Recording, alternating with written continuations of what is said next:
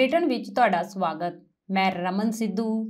ਅੱਜ ਦੇ ਬੁਲੇਟਿਨ ਵਿੱਚ ਨਜ਼ਰ ਮਾਰਾਂਗੇ ਭਾਰਤ ਨਾਲ ਜੁੜੀ ਹਰ ਵੱਡੀ ਤੇ ਅਹਿਮ ਖਬਰ ਤੇ।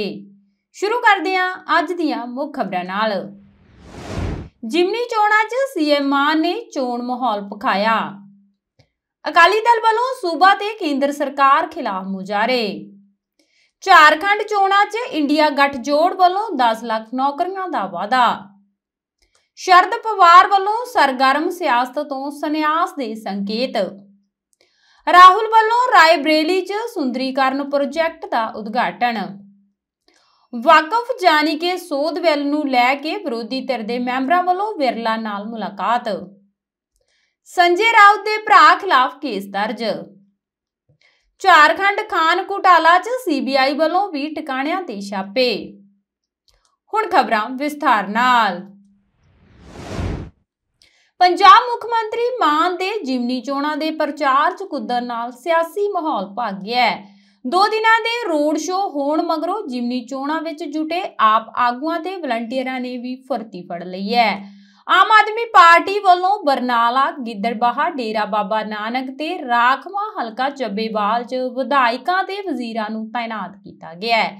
ਉਧਰ ਚੋਣ ਕਮਿਸ਼ਨ ਵੱਲੋਂ ਹਫ਼ਤੇ ਭਰ ਲਈ ਚੋਣ ਪ੍ਰਚਾਰ ਦਾ ਸਮਾਂ ਵੀ ਵਧਾ ਦਿੱਤਾ ਗਿਆ ਹੈ। ਮੁੱਖ ਮੰਤਰੀ ਮਾਨ ਨੇ 3 ਨਵੰਬਰ ਨੂੰ ਹਲਕਾ ਡੇਰਾ ਬਾਬਾ ਨਾਨਕ ਤੋਂ ਚੋਣ ਪ੍ਰਚਾਰ ਦੀ ਸ਼ੁਰੂਆਤ ਕੀਤੀ ਸੀ।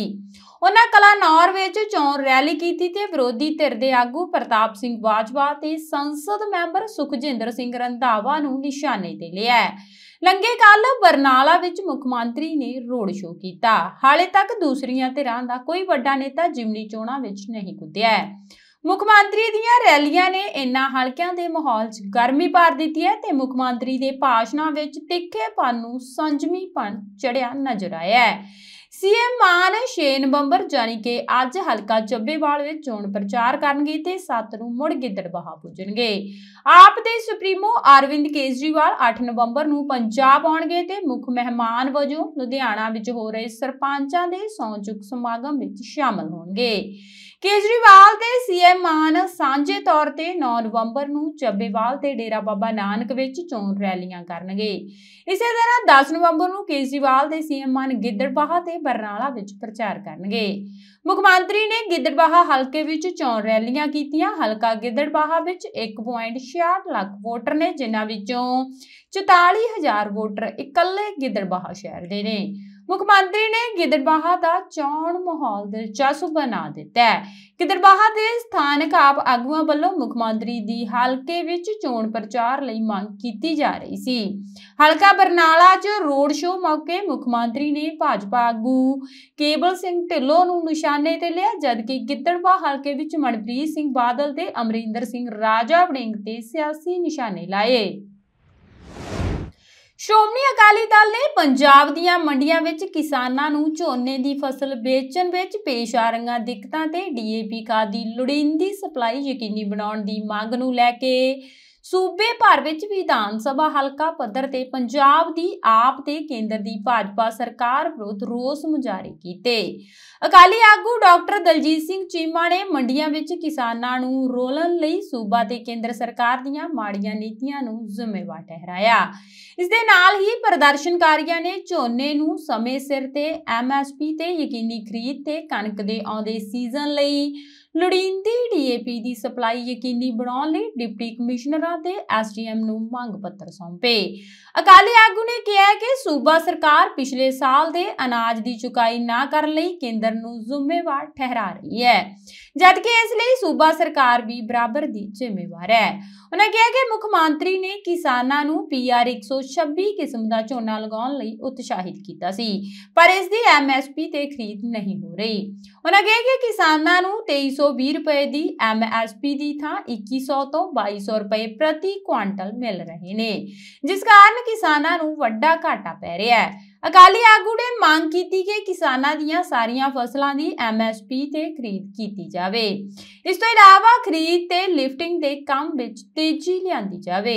ਉਹਨਾਂ ਕਿਹਾ ਕਿ ਅਜਿਹੇ ਮਾਹੌਲ ਵਿੱਚ ਕਣਕ ਦੀ ਫਸਲ ਲਈ ਹਾਲਾਤ ਹੋਰ ਖਤਰੇ ਵਾਲੇ ਬਣ ਸਕਦੇ ਨੇ ਤੇ ਸੂਬੇ ਵਿੱਚ ਕਣਕ ਦੀ ਬਜਾਈ ਪਛੜ ਸਕਦੀ ਹੈ ਤੇ ਕਣਕ ਦੇ ਝਾੜ ਤੇ ਅਸਰ ਪੈ ਸਕਦਾ ਹੈ। ਇਸ ਲਈ ਸੂਬਾ ਸਰਕਾਰ ਨੂੰ ਕਣਕ ਦੀ ਆਉਣ ਵਾਲੀ ਫਸਲ ਲਈ ਡੀਏਪੀ ਖਾਦ ਦੇ ਲੋੜੀਂਦੇ ਪ੍ਰਬੰਧ ਕਰਵਾਉਣੇ ਚਾਹੀਦੇ ਨੇ। ਉਹਨਾਂ ਕਿਹਾ ਕਿ ਜੇ ਸੂਬਾ ਸਰਕਾਰ ਨੇ ਕਿਸਾਨਾਂ ਦੀਆਂ ਸਮੱਸਿਆਵਾਂ ਨੂੰ ਜਲਦ ਹੱਲ ਨਾ ਕੀਤਾ, ਤਾਂ ਪਾਰਟੀ ਵੱਲੋਂ ਆਗਾਮੀ ਦਿਨਾਂ ਵਿੱਚ ਸੰਘਰਸ਼ ਨੂੰ ਹੋਰ ਤੇਜ਼ ਕੀਤਾ ਜਾਵੇਗਾ। ਇਹਨਾਂ ਮੁਜ਼ਾਹਰਿਆਂ ਵਿੱਚ ਹਲਕਾ ਪੱਧਰ ਦੇ ਅਕਾਲੀ ਆਗੂਆਂ ਨੇ ਅਗਵਾਈ ਕੀਤੀ। ਇੰਡੀਆ ਗੱਠਜੋੜ ਨੇ ਝਾਰਖੰਡ ਅਸੈਂਬਲੀ ਚੋਣਾਂ ਲਈ ਆਪਣਾ ਚੋਣ ਮਨੋਰਥ ਪੱਤਰ ਜਾਰੀ ਕਰਦਿਆਂ ਨੌਜਵਾਨਾਂ ਲਈ 10 ਲੱਖ ਨੌਕਰੀਆਂ ਤੇ ਗਰੀਬਾਂ ਲਈ 15 ਲੱਖ ਰੁਪਏ ਦੇ ਸਿਹਤ ਬੀਮੇ ਦਾ ਵਾਅਦਾ ਕੀਤਾ ਹੈ। ਗੱਠਜੋੜ ਦੇ ਚੋਣ ਮੈਨੀਫੈਸਟੋ ਵਿੱਚ 7 ਗਰੰਟੀਆਂ ਵੀ ਸ਼ਾਮਲ ਨੇ, ਜਿਸ ਵਿੱਚ ਸਮਾਜਿਕ ਨਿਆਂ ਯਕੀਨੀ ਬਣਾਉਣ ਲਈ ਰਾਖਵੇਂਕਰਨ ਨੂੰ ਅਨੁਸੂਚਿਤ ਕਬੀਲਿਆਂ ਲਈ 26% ਤੋਂ ਵਧਾ ਕੇ 28% ਕਰਨਾ। ਐਸਸੀ ਲਈ 10 ਤੋਂ 12% ਤੇ ਓਬੀਸੀ ਲਈ 14% ਤੋਂ ਵਧਾ ਕੇ 28% ਕਰਨ ਦਾ ਵਾਅਦਾ ਕੀਤਾ ਗਿਆ ਹੈ। ਕਾਂਗਰਸ ਪ੍ਰਧਾਨ ਮਲਿਕਾਰਜੁਨ ਖੜਗੇ, ਝਾਰਖੰਡ ਦੇ ਮੁੱਖ ਮੰਤਰੀ ਹੇਮੰਤ ਸੋਰੇਨ ਤੇ ਆਰਜੇਡੀ ਦੇ ਜੇਪੀ ਯਾਦਵ ਨੇ ਸਾਂਝੇ ਤੌਰ ਤੇ ਚੋਣ ਮਨੋਰਥ ਪੱਤਰ ਜਾਰੀ ਕਰਦਿਆਂ ਆਖਿਆ, ਇੰਡੀਆ ਗੱਠਜੋੜ ਨੌਜਵਾਨਾਂ ਲਈ 10 ਲੱਖ ਨੌਕਰੀਆਂ ਤੇ ਗਰੀਬਾਂ ਲਈ 15 ਲੱਖ ਰੁਪਏ ਦਾ ਸਿਹਤ ਬੀਮਾ ਯਕੀਨੀ ਬਣਾਏਗਾ। ਸ਼੍ਰੀ ਖੜਗੇ ਨੇ ਕਿਹਾ ਕਿ ਅਸੀਂ ਜਦੋਂ ਵੀ ਕਿਸੇ ਗਰੰਟੀ ਦੀ ਗੱਲ ਕਰਦੇ ਹਾਂ ਤਾਂ ਪ੍ਰਧਾਨ ਮੰਤਰੀ ਨਰਿੰਦਰ ਮੋਦੀ ਤੁਰੰਤ ਇਸ ਦੀ ਆਲੋਚਨਾ ਕਰਦੇ ਨੇ। ਪ੍ਰਧਾਨ ਮੰਤਰੀ ਇੱਥੇ ਆਏ ਤੇ ਆਪਣੇ ਭਾਸ਼ਣ 'ਚ ਨਾਮ ਲੈਂਦਿਆਂ ਆਖਿਆ ਕਿ ਕਾਂਗਰਸ ਦੀਆਂ ਗਰੰਟੀਆਂ ਦੀ ਕੋਈ ਭਰੋਸੇਯੋਗਤਾ ਨਹੀਂ ਹੈ, ਪਰ ਕਾਂਗਰਸ ਸਾਰੀਆਂ ਗਰੰਟੀਆਂ ਪੂਰੀਆਂ ਕਰਦੀ ਹੈ, ਜਦਕਿ ਸ਼੍ਰੀ ਮੋਦੀ ਦੀਆਂ ਗਰੰਟੀਆਂ ਕਦੇ ਵੀ ਪੂਰੀਆਂ ਨਹੀਂ ਹੁੰਦੀਆਂ। ਇੰਡੀਆ ਗੱਠਜੋੜ ਨੇ ਝਾਰਖੰਡ 'ਚ ਗਰੀਬਾਂ ਨੂੰ ਪ੍ਰਤੀ ਮਹੀਨਾ ਮਿਲਦਾ ਮੁਫਤ ਰਾਸ਼ਨ 5 ਕਿਲੋ ਤੋਂ ਵਧਾ ਕੇ 7 ਕਿਲੋ ਕਰਨ ਤੇ। ਗੈਸ ਸਿਲੰਡਰ 450 ਰੁਪਏ 'ਚ ਮੁਹੱਈਆ ਕਰਵਾਉਣ ਦਾ ਵਾਅਦਾ ਵੀ ਕੀਤਾ। ਸੰਸਦੀ ਰਾਜਨੀਤੀ ਤੋਂ ਸੰਨਿਆਸ ਦੇ ਸੰਕੇਤ ਦਿੰਦਿਆਂ ਰਾਸ਼ਟਰਵਾਦੀ ਕਾਂਗਰਸ ਪਾਰਟੀ ਮੁਖੀ ਦੇ ਸੰਸਦ ਮੈਂਬਰ ਸ਼ਰਦ ਪਵਾਰ ਨੇ ਆਖਿਆ ਕਿ ਉਹਨਾਂ ਨੂੰ ਇਸ ਬਾਰੇ ਸੋਚਣਾ ਹੋਵੇਗਾ ਕਿ ਉਹਨਾਂ ਨੂੰ 2026 ਚ ਆਪਣਾ ਮੌਜੂਦਾ ਕਾਰਜਕਾਲ ਖਤਮ ਹੋਣ ਮਗਰੋਂ ਇੱਕ ਵਾਰ ਫਿਰ ਰਾਜ ਸਭਾ ਮੈਂਬਰ ਵਜੋਂ ਮੌਕਾ ਲੈਣਾ ਚਾਹੀਦਾ ਹੈ। ਪਵਾਰ ਨੇ ਬਾਰਾਮਤੀ ਅਸੈਂਬਲੀ ਹਲਕੇ ਦੇ ਸੂਪਾ 'ਚ ਆਪਣੇ ਭਰਾ ਦੇ ਪੋਤੇ ਜੁਗੇਂਦਰ ਪਵਾਰ ਦੇ ਹੱਕ 'ਚ ਚੋਣ ਰੈਲੀ ਦੌਰਾਨ ਆਖਿਆ ਕਿ ਮੈਨੂੰ ਇੱਕ ਪੜਾਅ ਤੇ ਰੁਕਣਾ ਪਵੇਗਾ ਤੇ ਨਵੀਂ ਲੀਡਰਸ਼ਿਪ ਲਈ ਰਾਹ ਪੱਧਰਾ ਕਰਨਾ ਪਵੇਗਾ। ਦੱਸਣਯੋਗ ਹੈ ਕਿ ਉੱਗੇ ਨੇਤਾ ਸ਼ਰਦ ਪਵਾਰ ਆਪਣੇ ਸਿਆਸੀ ਕੈਰੀਅਰ ਦੌਰਾਨ ਚੋਣਾਂ 'ਚ 14 ਵਾਰ ਜੇਤੂ ਰਹੇ। ਉਹ 1967 ਚ ਪਹਿਲੀ ਵਾਰ ਮਹਾਰਾਸ਼ਟਰ ਵਿਧਾਨ ਸਭਾ ਦੇ ਮੈਂਬਰ ਚੁਣੇ ਗਏ ਤੇ 5 ਸਾਲ ਬਾਅਦ ਸੂਬਾ ਸਰਕਾਰ ਚ ਮੰਤਰੀ ਬਣੇ ਸਨ। ਪਵਾਰ ਮੁਤਾਬਕ ਤੁਹਾਡੇ ਸਹਿਯੋਗ ਨਾਲ ਮੈਂ ਪਹਿਲਾਂ ਸੂਬਾ ਅਸੈਂਬਲੀ ਚ ਪਹੁੰਚਿਆ, ਮੈਂ ਰਾਜ ਮੰਤਰੀ ਤੇ ਫਿਰ ਕੈਬਨਿਟ ਮੰਤਰੀ ਬਣਿਆ। ਚਾਰ ਵਾਰ ਮੁੱਖ ਮੰਤਰੀ ਬਣਿਆ, ਕੇਂਦਰ ਚ ਰੱਖਿਆ ਮੰਤਰੀ ਵਜੋਂ ਵੀ ਕੰਮ ਕੀਤਾ। ਬਾਅਦ ਚ 10 ਸਾਲ ਖੇਤੀਬਾੜੀ ਮੰਤਰੀ ਵਜੋਂ ਸੇਵਾਵਾਂ ਦਿੱਤੀਆਂ ਤੇ ਹੁਣ ਮੈਂ ਰਾਜ ਸਭਾ ਵਿੱਚ ਹਾਂ। ਉਹਨਾਂ ਕਿਹਾ ਕਿ ਕੁਝ ਵਰੇ ਪਹਿਲਾਂ ਉਹਨਾਂ ਨੇ ਲੋਕ ਸਭਾ ਚੋਣਾਂ ਨਾ ਲੜਨ ਦਾ ਫੈਸਲਾ ਕੀਤਾ ਸੀ ਕਿਉਂਕਿ ਉਹ ਨਵੀਂ ਲੀਡਰਸ਼ਿਪ ਨੂੰ ਜ਼ਿੰਮੇਵਾਰੀ ਦੇਣਾ ਚਾਹੁੰਦੇ ਸਨ। ਕਾਂਗਰਸੀ ਆਗੂ ਰਾਹੁਲ ਗਾਂਧੀ ਜ਼ਿਲ੍ਹਾ ਵਿਕਾਸ ਤਾਲਮੇਲ ਤੇ ਨਿਗਰਾਨ ਕਮੇਟੀ ਦੀ ਮੀਟਿੰਗ 'ਚ ਸ਼ਾਮਲ ਹੋਏ ਤੇ ਉਹਨਾਂ ਨੇ ਆਪਣੇ ਹਲਕੇ 'ਚ ਸੁੰਦਰੀਕਰਨ ਪ੍ਰੋਜੈਕਟ ਤੇ ਸੜਕਾਂ ਉਸਾਰੀ ਦੇ ਕੰਮ ਦਾ ਨੀਂਹ ਪੱਥਰ ਰੱਖਿਆ।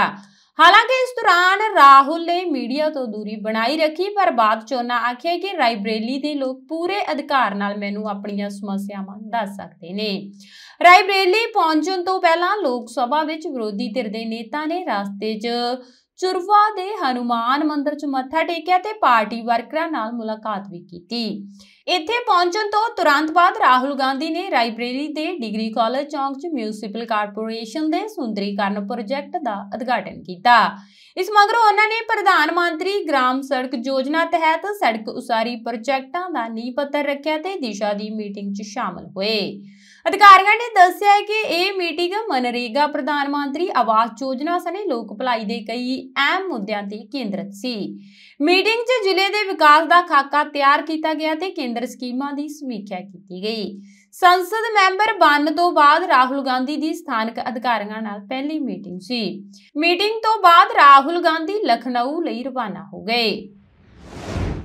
ਵਾਕਫ ਜਾਣੀ ਕਿ ਸੋਧ ਬਿੱਲ ਤੇ ਵਿਚਾਰ ਕਰ ਰਹੀ ਸੰਸਦ ਦੀ ਸਾਂਝੀ ਕਮੇਟੀ 'ਚ ਸ਼ਾਮਲ ਵਿਰੋਧੀ ਧਿਰ ਦੇ ਸੰਸਦ ਮੈਂਬਰਾਂ ਨੇ ਲੋਕ ਸਭਾ ਸਪੀਕਰ ਓਮ ਬਿਰਲਾ ਨਾਲ ਮੁਲਾਕਾਤ ਕਰਕੇ ਕਮੇਟੀ ਦੇ ਪ੍ਰਧਾਨ ਤੇ ਭਾਜਪਾ ਦੇ ਸੰਸਦ ਮੈਂਬਰ ਜਗਦੰਬਿਕਾ ਪਾਲ ਵੱਲੋਂ ਲਏ ਜਾ ਰਹੇ ਇੱਕ ਪਾਸੜ ਫੈਸਲਿਆਂ ਖਿਲਾਫ ਆਪਣਾ ਵਿਰੋਧ ਦਰਜ ਕਰਵਾਇਆ ਹੈ। ਵਿਰੋਧੀ ਧਿਰ ਦੇ ਮੈਂਬਰਾਂ ਨੇ ਜਗਦੰਬਿਕਾ ਪਾਲ ਤੇ ਇੱਕ ਪਾਸੜ ਫੈਸਲੇ ਕਰਨ ਤੇ ਪੂਰੀ ਪ੍ਰਕਿਰਿਆ ਨੂੰ ਢਾਹ ਲਾਉਣ ਦਾ ਦੋਸ਼ ਲਾਇਆ। ਤੇ ਇਸ ਕਮੇਟੀ ਤੋਂ ਖੁਦ ਨੂੰ ਵੱਖ ਕਰਨ ਦਾ ਸੰਕੇਤ ਦਿੱਤਾ। ਵਿਰੋਧੀ ਧਿਰ ਦੇ ਮੈਂਬਰਾਂ ਨੇ ਉਮੀਦ ਜ਼ਾਹਿਰ ਕੀਤੀ ਕਿ ਬਿਰਲਾ ਕਮੇਟੀ ਦੀਆਂ ਮੀਟਿੰਗਾਂ ਦੇ ਸਿਲਸਿਲੇ ਨੂੰ ਘਟਾਉਣ ਲਈ ਕਦਮ ਉਠਾਉਣਗੇ।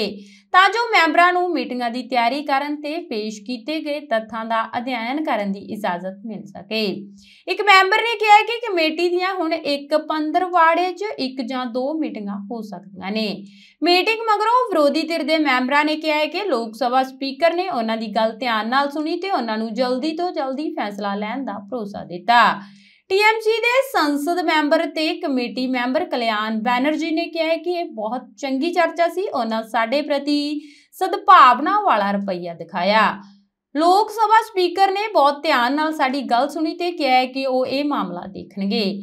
ਆਪ ਦੇ ਸੰਜੇ ਸਿੰਘ ਤੇ ਡੀਐਮਕੇ ਦੇ ਏ ਰਾਜਾ ਨੇ ਵੀ ਇਹੀ ਗੱਲ ਕਹੀ। ਸੰਸਦ ਮੈਂਬਰਾਂ ਨੇ ਸਪੀਕਰ ਨੂੰ ਇੱਕ ਯਾਦ ਪੱਤਰ ਵੀ ਸੌਂਪਿਆ। ਮੁੰਬਈ ਪੁਲਿਸ ਨੇ ਸ਼ਿਵ ਸੈਨਾ ਵਿਧਾਇਕ ਸੁਨੀਲ ਰਾਉਤ ਖਿਲਾਫ ਵਿਰੋਧੀ ਸ਼ਿਵ ਸੈਨਾ ਧੜੇ ਦੀ ਮਹਿਲਾ ਆਗੂ ਸਵਰਨਾ ਕਰਾਜ਼ੇ ਤੇ ਟਿੱਪਣੀ ਦੇ ਦੋਸ਼ ਹੇਠ ਕੇਸ ਦਰਜ ਕੀਤਾ ਹੈ। ਸੁਨੀਲ ਰਾਉਤ ਤੇ ਸਵਰਨਾ ਕਰਾਜ਼ੇ ਮੁੰਬਈ ਦੀ ਵਿਖਰੌਲੀ ਵਿਧਾਨ ਸਭਾ ਸੀਟ ਤੋਂ ਇੱਕ ਦੂਜੇ ਖਿਲਾਫ ਚੋਣ ਲੜ ਰਹੇ ਨੇ। ਸ਼ਿਵ ਸੈਨਾ ਉਮੀਦਵਾਰ ਨੇ ਟਿੱਪਣੀਆਂ ਵਿਖਰੌਲੀ ਦੇ ਟੈਗੋਰ ਨਗਰ ਇਲਾਕੇ 'ਚ 27 ਅਕਤੂਬਰ ਨੂੰ ਪ੍ਰੋਗਰਾਮ ਦੌਰਾਨ ਕੀਤੀਆਂ ਸਨ ਤੇ ਬਾਅਦ 'ਚ ਇਸ ਦੀ ਵੀਡੀਓ ਸੋਸ਼ਲ ਮੀਡੀਆ ਤੇ ਵਾਇਰਲ ਹੋਈ ਸੀ। ਅਧਿਕਾਰੀ ਨੇ ਦੱਸਿਆ ਕਿ ਪੁਲਿਸ ਵੱਲੋਂ ਕਰਾਜ਼ੇ ਦੀ ਸ਼ਿਕਾਇਤ ਤੇ ਸੋਮਵਾਰ ਨੂੰ ਸੁਨੀਲ ਰਾਉਤ ਖਿਲਾਫ ਬੀਐਸਐਸ ਦੀ ਧਾਰਾ 79 ਤਹਿਤ ਦਰਜ ਕੀਤੀ ਗਈ ਹੈ। ਦੱਸਣਯੋਗ ਹੈ ਕਿ ਮਹਾਰਾਸ਼ਟਰ ਵਿਧਾਨ ਸਭਾ ਲਈ ਚੋਣਾਂ 29 ਨਵੰਬਰ ਨੂੰ ਹੋਣੀਆਂ ਨੇ ਤੇ ਨਤੀਜੇ 23 ਨਵੰਬਰ ਨੂੰ ਆਉਣੇ ਨੇ। ਸੀਬੀਆਈ ਨੇ ਨਿੰਬੂ ਪਹਾੜ ਵਿੱਚ ਗੈਰ ਕਾਨੂੰਨੀ ਪੱਥਰ ਖਾਨ ਘੁਟਾਲੇ ਦੇ ਮਾਮਲੇ ਦੀ ਜਾਂਚ ਸੰਬੰਧੀ ਝਾਰਖੰਡ ਸਮੇਤ ਤਿੰਨ ਸੂਬਿਆਂ ਵਿੱਚ ਵੀ ਟਿਕਾਣਿਆਂ ਤੇ ਛਾਪੇ ਮਾਰੇ ਨੇ। ਅਧਿਕਾਰੀਆਂ ਨੇ ਦੱਸਿਆ ਹੈ ਕਿ ਇਸ ਘੁਟਾਲੇ ਵਿੱਚ ਮੁੱਖ ਮੰਤਰੀ ਹਿੰਮਤ ਸੋਰੇਨ ਦਾ ਇੱਕ ਸਿਆਸੀ ਸਹਿਯੋਗੀ ਵੀ ਜਾਂਚ ਦੇ ਘੇਰੇ ਵਿੱਚ ਹੈ। ਕੇਂਦਰੀ ਜਾਂਚ ਏਜੰਸੀ ਨੇ ਝਾਰਖੰਡ, ਪੱਛਮੀ ਬੰਗਾਲ ਤੇ ਬਿਹਾਰ ਵਿੱਚ ਛਾਪੇ ਮਾਰੇ। ਕੇਂਦਰੀ ਜਾਂਚ ਏਜੰਸੀ ਦੇ ਅਧਿਕਾਰੀਆਂ ਨੇ ਦੱਸਿਆ ਕਿ ਤਲਾਸ਼ੀ ਮੁਹਿੰਮ ਦੌਰਾਨ ਸੀਬੀਆਈ ਨੇ 50 ਲੱਖ ਰੁਪਏ ਦੀ ਨਗਦੀ 1 ਕਿਲੋਗ੍ਰਾਮ ਸੋਨਾ ਤੇ 1 ਕਿਲੋਗ੍ਰਾਮ ਚਾਂਦੀ ਤੋਂ ਇਲਾਵਾ ਕਰੋੜਾਂ ਰੁਪਏ ਦੇ ਦਸਤਾਵੇਜ਼ ਬਰਾਮਦ ਕੀਤੇ ਨੇ। ਅੱਜ ਦੀਆਂ ਖਬਰਾਂ ਇੱਥੇ ਹੀ ਸਮਾਪਤ ਹੁੰਦੀਆਂ ਨੇ। ਇਸ ਬੁਲੇਟਨ ਦੇ sponsor son Sherata made in Canada and Stargate logistic. ਮੈਨੂੰ ਰਮਨ ਸਿੱਧੂ ਨੂੰ ਦਿਓ ਇਜਾਜ਼ਤ। ਸਤਿ ਸ਼੍ਰੀ ਅਕਾਲ।